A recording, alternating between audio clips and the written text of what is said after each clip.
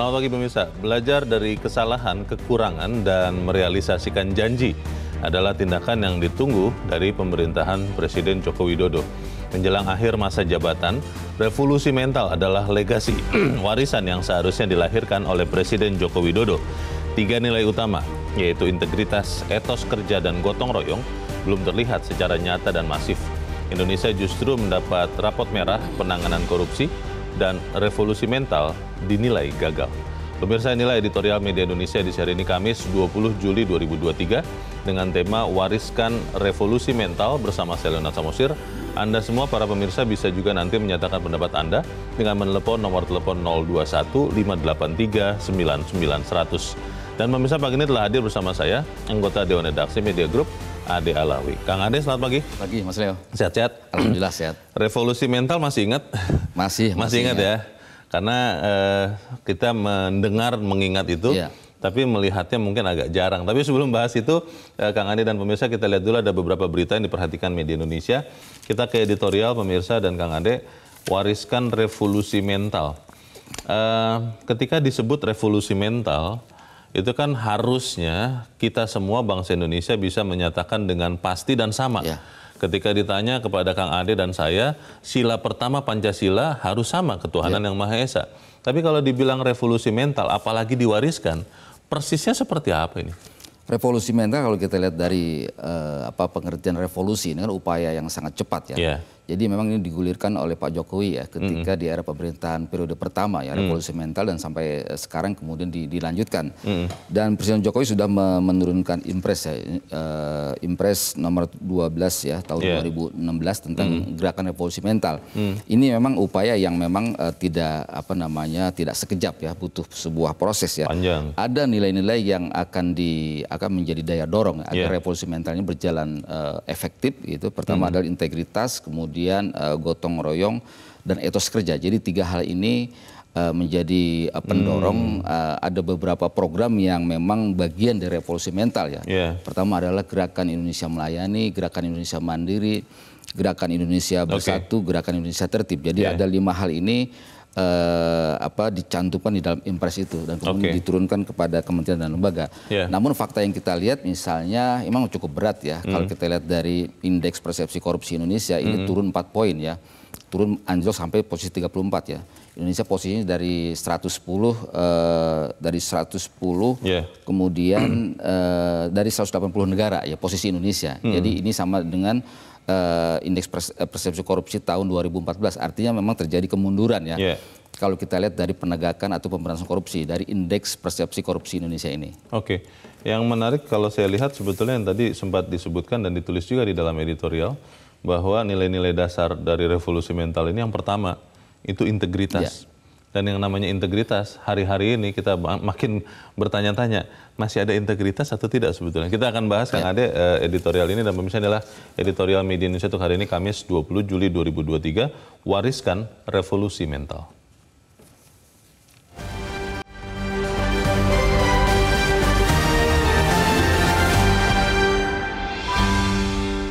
Wariskan revolusi mental.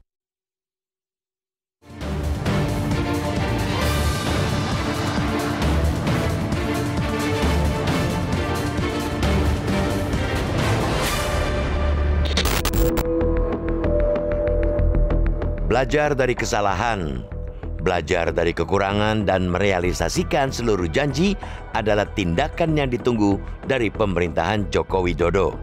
Menjelang akhir masa jabatannya, Presiden Joko Widodo seharusnya melahirkan legasi besar. Salah satunya menyelesaikan janji yang pernah diucapkan dulu, yakni revolusi mental. Jargon yang diusung Joko Widodo sejak masa kampanye 2014 tersebut terus digaungkan Joko Widodo hingga periode kedua pemerintahannya. Mantan wali kota Solo itu menerbitkan instruksi Presiden nomor 12 tahun 2016 tentang Gerakan Nasional Revolusi Mental yang mengamanahkan perbaikan dan pembangunan karakter bangsa yang mengacu kepada nilai-nilai dasar yaitu integritas, etos kerja, dan gotong royong. Dalam revitalisasi mental terhadap lima gerakan yaitu Gerakan Indonesia Bersih, Gerakan Indonesia Melayani, Gerakan Indonesia Tertib, Gerakan Indonesia Mandiri, dan Gerakan Indonesia Bersatu. Seiring dengan itu, pemerintah saban tahun menggelar anugerah revolusi mental kepada lembaga pemerintah, lembaga mitra gerakan nasional revolusi mental, swasta, dan masyarakat ataupun gerakan komunitas yang melakukan perubahan secara nyata, terukur, inspiratif, dan berkelanjutan. Perhelatan tersebut penuh gebiar, namun jejaknya tak berbekas dalam konteks berbangsa dan bernegara. Tiga nilai utama yang dikembangkan sebagai pengungkit revolusi mental yaitu integritas, etos kerja, dan gotong royong belum terlihat secara nyata dan masif di masyarakat. Indonesia justru mendapat raport merah untuk penanganan korupsi Indeks persepsi korupsi Indonesia anjlok pada 2022, mengalami penurunan 4 poin hingga berada di skor 34, berada di peringkat ke-110 dari 180 negara yang disurvei. Nilai ini kembali seperti tahun 2014, bukannya membaik justru mundur. Penurunan indeks persepsi korupsi secara tajam terjadi pada korupsi sistem politik konflik kepentingan antara politisi dan pelaku suap, serta suap untuk izin ekspor impor. Penurunan indeks persepsi korupsi itu juga membuktikan reformasi birokrasi masih jauh panggang dari api. Lagi-lagi pemerintah doyan menggelar anugerah-anugrahan. Selain anugerah revolusi mental, pemerintah juga setiap tahun menyelenggarakan anugerah reformasi birokrasi. Tengok saja operasi tangkap tangan atau penyelidikan dan penyidikan yang dilakukan Komisi Pemberantasan Korupsi tak pernah berhenti menyasar pejabat pusat, kepala daerah, dan penyelenggara negara lainnya. Ibarat pepatah, mati satu tumbuh seribu. Miris. Kegagalan gerakan revolusi mental itu disampaikan Ketua Umum Partai Nasdem Surya Paloh dalam apel siaga perubahan di Stadion Utama Gelora Bung Karno, Jakarta beberapa hari yang lalu. Presiden Joko Widodo pun mengamininya bahwa gerakan revolusi mental belum maksimal. Di penghujung masa jabatan Joko Widodo terlihat sibuk dengan pembangunan infrastruktur dan ibu kota negara Nusantara di Kalimantan Timur. Kesibukan Joko Widodo tak kalah hebohnya dengan cawe-cawe untuk menentukan penerusnya pada pemilu 2024. Gagasan revolusi mental pernah disampaikan Presiden Soekarno pada peringatan Hari Kemerdekaan 17 Agustus 1956. Menurut Bung Karno, revolusi mental sebagai suatu gerakan untuk menggembleng manusia Indonesia agar menjadi manusia baru yang berhati putih, berkemauan baja, bersemangat elang Raja Wali dan berjiwa api yang menyala-nyala. Seyogianya Jokowi mengacu ke pemikiran Bung Karno tentang revolusi mental. Namun apalah artinya gerakan revolusi mental jika sekadar seremoni, slogan kosong tanpa makna, tanpa jiwa. Namun, Jokowi masih ada kesempatan merealisasikan revolusi mental di sisa kekuasaannya asalkan fokus dan punya niat mewariskan revolusi mental agar sejarah mencatat mantan gubernur DKI itu dengan tinta emas bahwa revolusi mental adalah legasi besar Presiden Joko Widodo.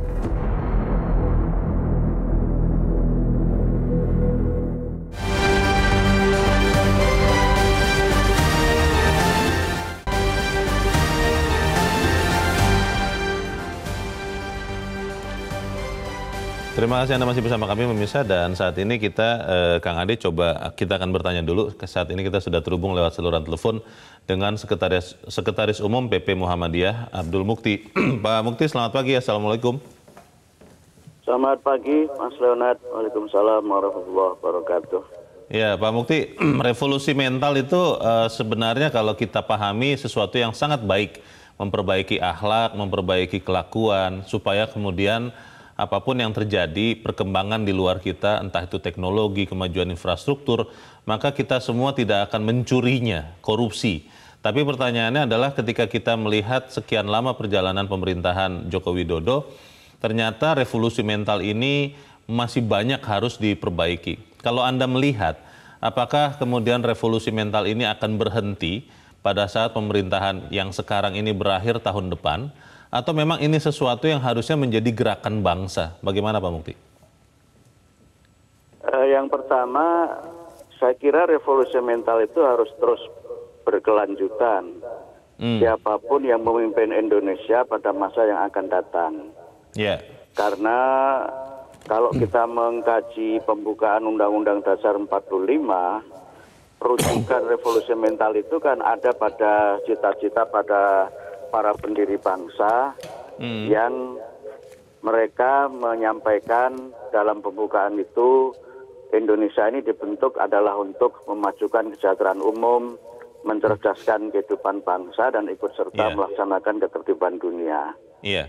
Kemudian yang kedua kita juga melihat itu sebagai sebuah pernyataan politik dan juga sebagai sebuah tekad besar dari Presiden Soekarno pada 17 Agustus 57 yang di situ beliau menyampaikan eh, pandangan dan berbagai hal penting menyangkut revolusi mental itu Iya. yang kalau kita mengkaji pidatonya Bung Karno itu kan tujuannya adalah untuk membangkitkan kembali semangat perubahan berkemajuan bangsa Indonesia.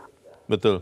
Dan kalau kita merujuk pada peraturan Menko PMK nomor 3 tahun 2017, revolusi mental itu kan sebuah gerakan hidup baru untuk mewujudkan Iya. trisakti kan Iya. yaitu Indonesia yang berdaulat dalam politik, kemudian berdikari dalam ekonomi, dan berkepribadian dalam kebudayaan. Baik. Itu menurut saya sebuah misi penting yang siapa pun yang menjadi pemimpin Indonesia masa depan harus Hmm. berkomitmen untuk mewujudkan Indonesia seperti yang dicita-citakan Oke. oleh para pendirinya. Pak Mukti, salah satu yang disebutkan di dalam eh, Inpres ya, nomor 12 tahun 2016 tentang eh, revolusi mental, itu nilai dasarnya adalah integritas, etos kerja, dan gotong royong. Saya tertarik untuk melihat integritas ketika kita melihat bahwa ternyata sekian lama, sekian tahun perjalanan pemerintahan ini eh, sekian pejabat juga tertangkap tangan ataupun tidak tangkap tangan tapi sudah ketahuan terbukti korupsi, itu kan artinya integritasnya nol, tidak ada Pak. Lalu ketika belakangan kita mendengar bahwa yang penting adalah pencegahan, ada pejabat yang mengatakan itu. Kalau OTT itu norak katanya begitu. Eh, kalau saya melihat akhirnya jadinya terbalik-balik ini cara berpikirnya. Kalau menurut Anda seperti apa Pak Mukti? Ya, saya kira kita memang harus menyadari betul bahwa sekarang ini kita sedang mengalami tiga krisis ya. Ya, Yang pertama adalah krisis integritas dan pandemik korupsi dalam penyelenggaraan negara.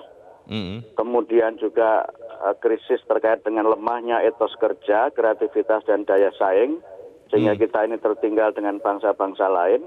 ya, Yang ketiga krisis identitas yang ditandai dengan melemahnya budaya gotong royong yang merupakan aset sosial bangsa Indonesia. Hmm. Masalah tingginya korupsi di Indonesia itu adalah cermin dari tiga krisis yang memang eh, sangat sangat akut dalam dalam kehidupan kita dan saya sangat khawatir ketika persoalan integritas ini dianggap sebagai sesuatu yang biasa-biasa saja gitu. Hmm, ya, Ada yang berpendapat ketika seseorang itu ditangkap, ah itu mah dia lagi sial saja gitu. Yang lain juga banyak tapi nggak ditangkap. Nah, Iya, ini kan saya iya. kira sebuah sikap mental yang eh, menurut saya sangat berbahaya untuk Betul. kita berbicara Indonesia Oke. yang bersih ya sebagai Iya. bagian dari Baik. dari revolusi mental itu kan Indonesia yang melayani, bersih, Iya, tertib, iya. mandiri dan bersatu kan.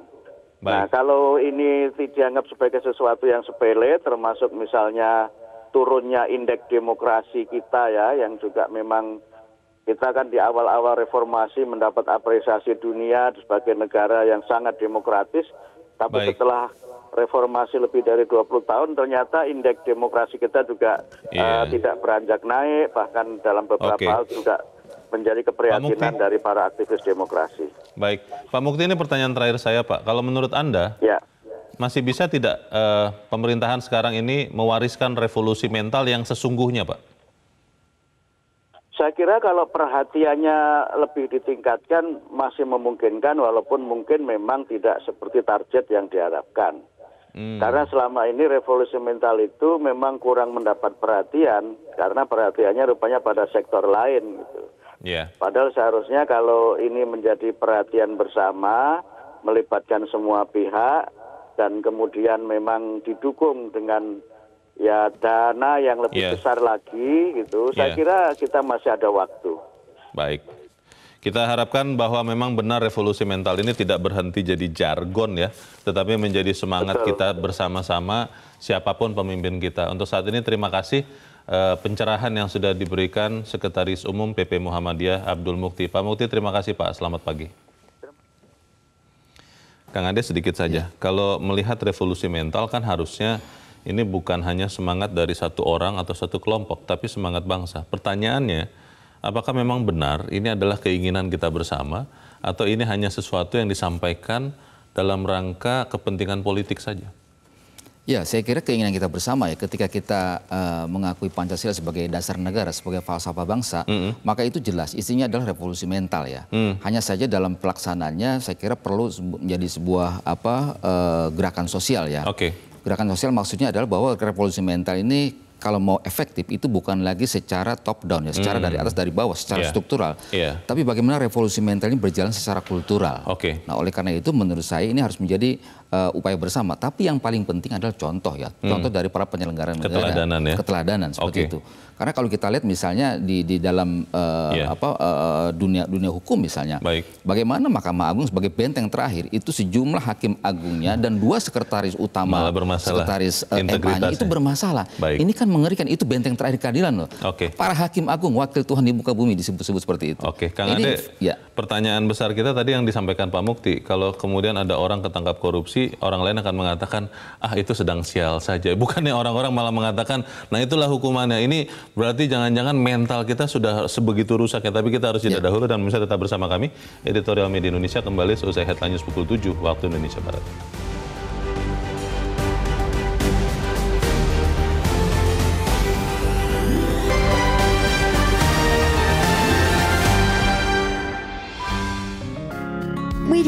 Indonesia mengajak Anda untuk mengakses fitur premium e-paper.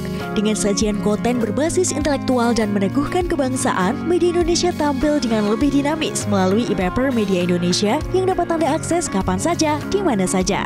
Caranya mudah, download aplikasi Media Indonesia di Android atau ketik link e-paper.mediaindonesia.com atau bisa scan QR code pada layar kaca Anda. Klik tab e-paper di bagian samping layar tablet Anda, daftarkan data diri, serta pilih paket berlangganan e-paper Media Indonesia sesuai dengan kebutuhan Anda. Nikmati juga bonus spesial tambahan 4 halaman rubrik fokus setiap hari.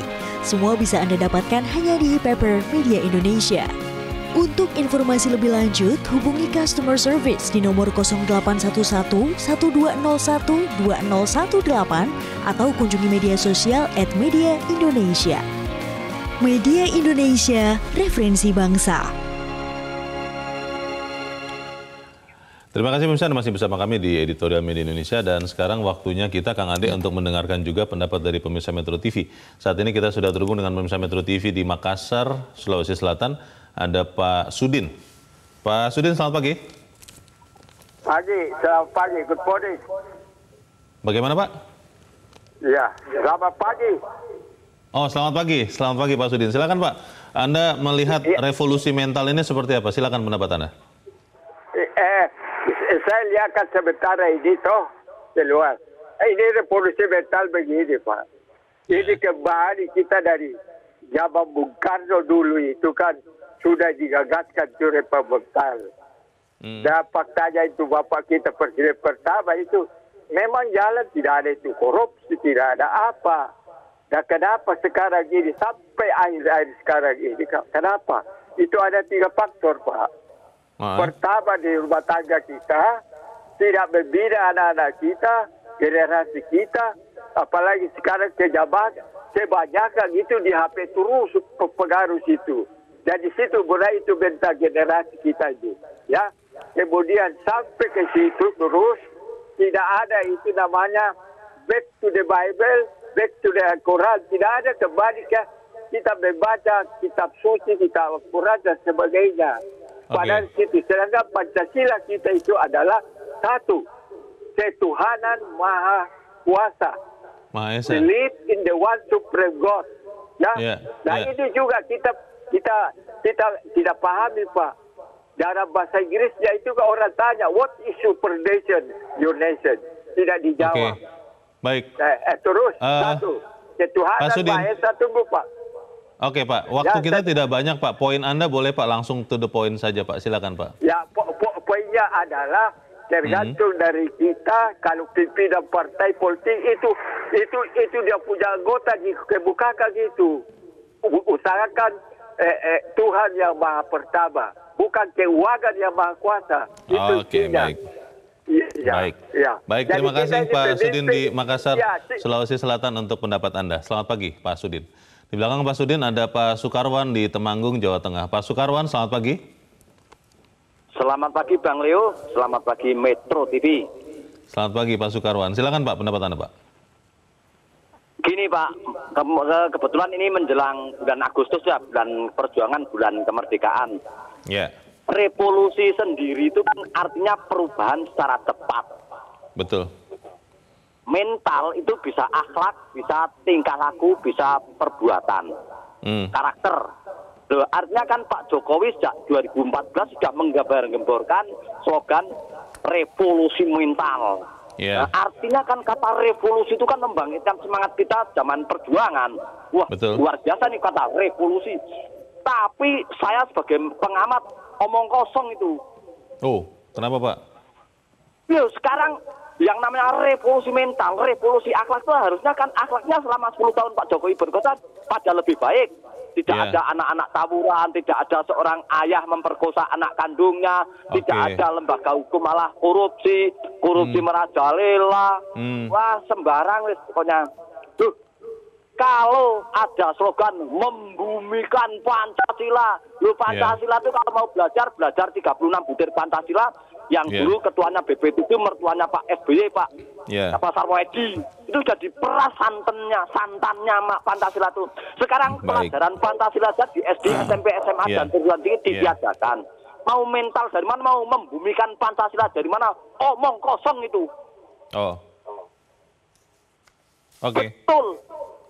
Oke, gitu aja. Pokoknya yang namanya membumikan Pancasila sama revolusi mental itu omong kosong. Baik. Terima kasih Pak Sukarwan di Temanggung, Jawa Tengah untuk pendapat Anda. Selamat pagi.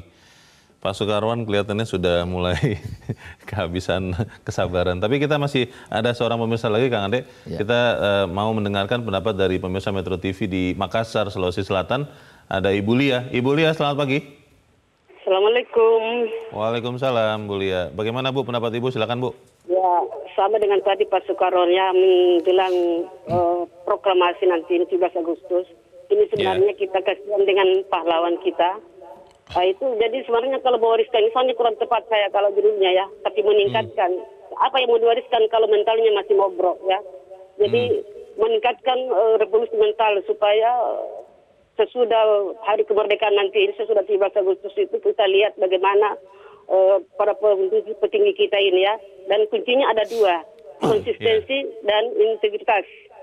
Nah, ini jadi kadang-kadang tidak konsisten. Para pemimpin kita itu tidak konsisten dengan apa yang dia buat aturan sendiri. Jadi biasanya dia membuat aturan dan mereka sendiri yang melanggar. Nah jadi ini dua kunci integritas dan konsistensi Kemudian berikutnya lagi adalah eh, para pemimpin kita tadi ini adalah eh, seperti tidak melihat ke depan ini, apalagi menjelang ini berkata kusuk untuk pilpres 2024 ya. Ini Ah. seperti ter apa namanya tertinggal ya berita-berita yang lain karena selalu ini yang ditonjolkan adalah menjelang jauh, saja lama begitu ya, Bu?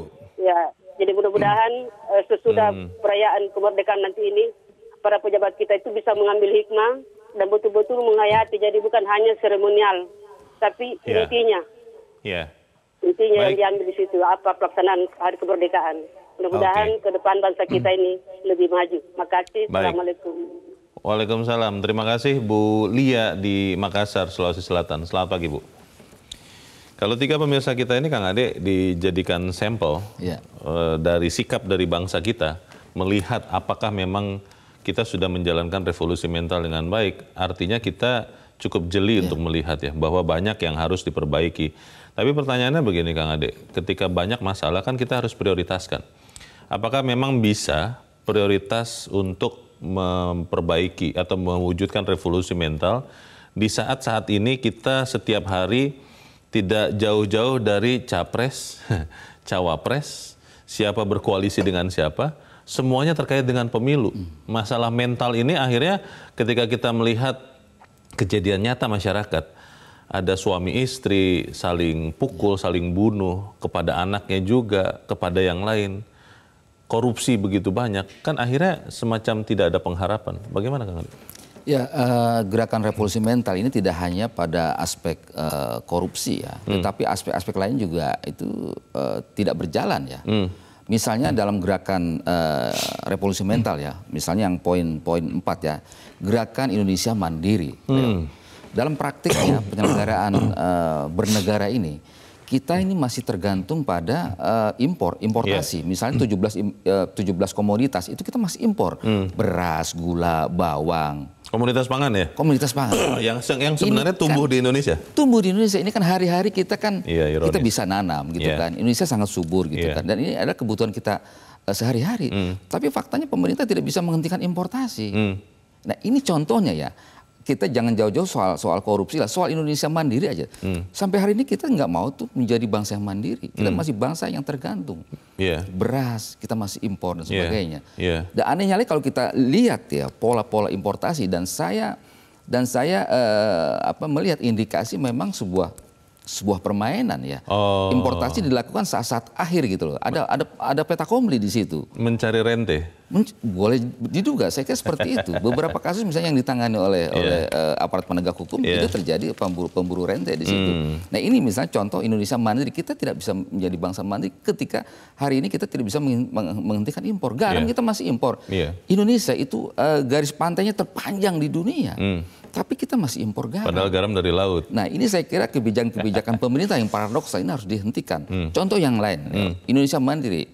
Kalau kita lihat dari apa hmm. industri pakaian jadi alas kaki dan sebagainya itu hancur lebur karena yeah. apa? Misalnya yeah. Indonesia apa uh, uh, industri pakaian hancur sama sama impor pakaian bekas tuh hmm. bertonton. Hmm. Katanya itu terjadi karena di apa lewat jalur tikus enggak juga tikus beberapa yang, yang kita investigasi yeah. itu lewat jalur formal. Tikus itu yang terjadi. berkepala hitam dan berkaki dua. Nah itu dia. Nah ini saya kira juga okay. konsistensi kita hmm. bagaimana lima gerakan revolusi mental hmm. ini harus betul-betul nyata. Yeah. Ketika ini tidak nyata, masyarakat juga apatis. Ah ngomong doang, hmm. faktanya nggak ada hmm. seperti itu. Tapi sebetulnya kalau kita melihat Kang Ade, eh, pemerintahan ini kan sebenarnya sedang berusaha juga ketika ya. membangun begitu rupa infrastruktur, membangun begitu rupa apa yang kita butuhkan yang selama sekian lama tidak dibangun. Kan harapannya bahwa dengan infrastruktur yang lebih baik, maka kemudian memperbaiki mental itu akan bisa lebih mudah. Bagaimana kita bisa uh, meminta pengendara kendaraan untuk disiplin ketika misalnya jalannya tidak ada jalan tol yeah. dan itu masih umpel-umpelan akhirnya semua pakai bahu jalan bahkan mungkin masuk ke rumput begitu ya ketika sudah ada jalan tol kan logikanya ketika ada empat lajur enam lajur kan akhirnya bisa disiplin bisa seperti itu tidak pemikirannya ya saya kira bisa ya pembangunan itu harus apa ya harus harus holistik ya hmm. tidak hanya bersifat material tapi juga imaterial ya hmm. ketika berbicara misalnya infrastruktur yeah. apa sih uh, apa peran masyarakat di situ masyarakat bisa dampaknya apa buat masyarakat? Hmm. Ketika katakan infrastruktur ini bisa memberikan dampak pada masyarakat, masyarakat diajak dong. Hmm. Misalnya me, apa namanya membuat sebuah apa uh, eh, UMKM misalnya dihidupkan. Okay. Jadi ada sebuah ekosistem yang terbangun sehingga infrastruktur yang nama jalan itu tidak tidak tidak sia-sia. Hmm. Misalnya Kertajati. Hmm. Kertajati ini kan bandara yang yang salah satu yang termegah ya di, yeah. di Asia ya. Yeah. Tetapi bagaimana masyarakat di sekitar dihidupkan tidak ekonominya, hmm. Hmm. dibangkitkan tidak ekonominya. Hmm. Nah ini yang saya kira juga harus bagaimana kita melihat uh, pembangunan itu jangan sifatnya uh, material tapi imaterial. Hmm. Masyarakat memiliki sense of crisis. Yeah. Masyarakat memiliki sense of belonging terhadap yeah. uh, apa produk-produk pembangunan. Yeah infrastruktur dan sebagainya. Kalau kalau kita bicara korupsi di hari-hari terakhir kan ada uh, pejabat yang mengatakan begini Kang Ade. OTT itu norak. Ya. Jangan hanya eh, bangga dengan penangkapan. Itu kan semacam pertunjukan. Yang harus ditingkatkan adalah pencegahan. Itu bisa apa tidak sebenarnya melihat kondisi masih banyak korupsi dan hampir di semua lini di tengah-tengah bangsa ini? Ya, saya kira sangat apa ya disayangkan ya ada hmm. pejabat ya saya sebut saja lah uh, Menko Menko Maritim dan Investasi ya. Hmm. uh, harusnya tidak tidak menyampaikan hal itu Yeah. karena OTT itu bagian dari pemberantasan korupsi. Hmm. KPK ini memiliki tiga tupoksi. Yang pertama adalah pendidikan. Ya. KPK harus menyebarkan bagaimana pendidikan anti korupsi kepada masyarakat. Kemudian pencegahan, pencegahan ini dibuatkan ada sebuah sistem seperti itu. Kemudian tiga ada penindakan. Jadi tiga hal ini ada satu kesatuan yang tidak bisa dipisahkan. Tidak bisa dicopot satu Iya. saja begitu ya. Ketika terjadi apa penindakan dengan OTT, kita para pejabat yang merasa malu itu faktanya kok masih ada kok. Iya. Perbaiki dong. Baik. Nah, saya kira hal seperti ini eh, ini ada pikiran-pikiran menurut saya mengganggu pemberantasan korupsi di tanah air. Oke, apakah kemudian revolusi mental ini memang kembali lagi ke pertanyaan Iya. awal saya, hanya gagasan satu pihak atau satu kelompok dan bukan gagasan bangsa kita semua? Kita bahas di bagian berikut Kang Ade dan pemirsa tetap bersama kami Editorial Media Indonesia segera kembali.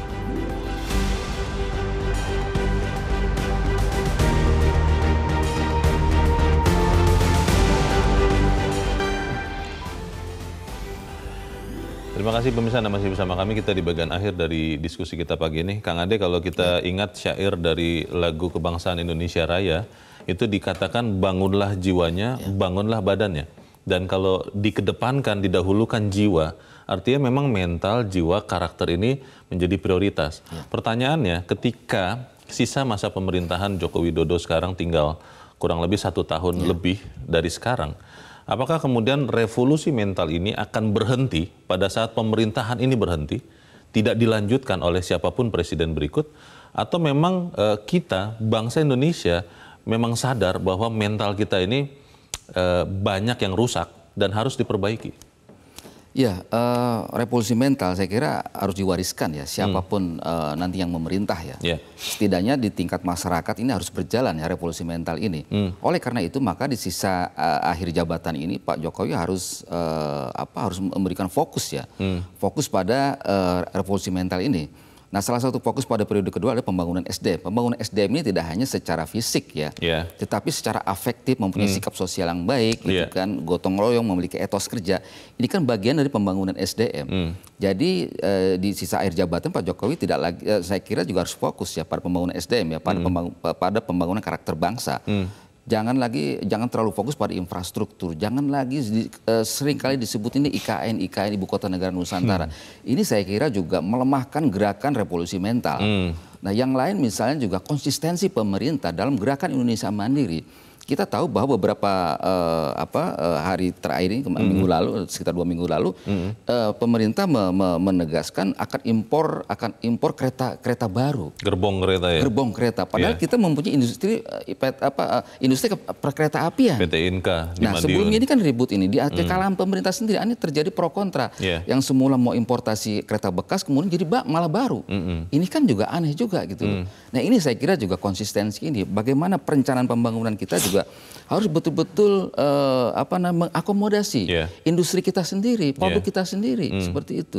Jadi dari pemer- dari kalangan pemerintah sendiri ini tidak, tidak konsisten. Sekarang kalau importasi eh, kereta bekas, Hmm. TKDN-nya bagaimana? Sementara TKDN itu sudah ada regulasinya. Iya. Kita harus mempertahankan TKDN, gitu loh. TKD-nya 0% tuh kalau impor. Makanya seperti itu. Jadi saya kira juga bekas dari baru. Hmm. kebijakan pemerintah harus jelas gitu. Harus tegas mengacu kepada revolusi mental. Iya. Kan ada poin-poinnya di situ. Iya, iya. Ada lima gerakan. Mengaculah kepada lima gerakan itu. Hmm. Apa pun yang dibangun oleh pemerintah, infrastruktur dan sebagainya, Hmm. harus mengacu ke sana. Soal eh, kepentingan politik itu kelihatannya makin hari makin nyata bahwa eh, seorang pejabat yang harusnya adalah menjadi pemimpin seluruh bangsa kelihatan ada preferensi kecenderungan kepada kelompok-kelompok politik tertentu. Kalau seperti itu terus dilakukan, apakah memang kita masih punya integritas? Karena poin pertama tadi dari acuan revolusi mental nilai dasarnya adalah integritas, Kang Ade. Nah ini juga eh, apa ya aneh juga ya ketika katakanlah pemerintah ya dalam katakanlah Presiden Jokowi itu Hmm. kan eh, cawe-cawe dan si- eh, sibuk untuk mencari penerusnya. Ya. Ini juga saya kira juga tidak sesuai juga dengan revolusi mental. Ada Hmm. integritas di situ. Ada gerakan melayani, melayani, melayani seluruh masyarakat Indonesia. Semuanya ya tanpa Semuanya kecuali, tanpa bukan kecuali. hanya kelompok politik tertentu. Betul, iya. Oke, kita harapkan memang apa yang kita bicarakan ini benar-benar bisa menyumbangkan revolusi mental. Mungkin Ya. kalau kita boleh sarankan berawal dari diri kita sendiri Betul. dulu, dari keluarga kita, supaya kemudian bangsa kita juga bisa mentalnya terevolusi. Ya. Kang Ade Alawi, terima kasih sudah hadir di tempat ini. Selamat pagi, Kang. Pagi. Pemirsa seyogianya, Presiden Joko Widodo mengacu ke pemikiran Bung Karno tentang revolusi mental sebagai gerakan untuk menggembleng manusia Indonesia agar menjadi manusia baru. Apalah arti revolusi mental kalau sekedar seremoni, slogan kosong tanpa makna, tanpa jiwa. Masih ada kesempatan bagi Presiden Joko Widodo untuk merealisasikannya, asalkan fokus dan niat agar sejarah mencatat bahwa revolusi mental adalah legasi, warisan besar Presiden Joko Widodo. Saya Luna Samusi berterima kasih Anda sudah menyimak editorial Media Indonesia satu pagi ini. Terus jaga kesehatan Anda, terus jaga nurani Anda. Selamat pagi, sampai jumpa.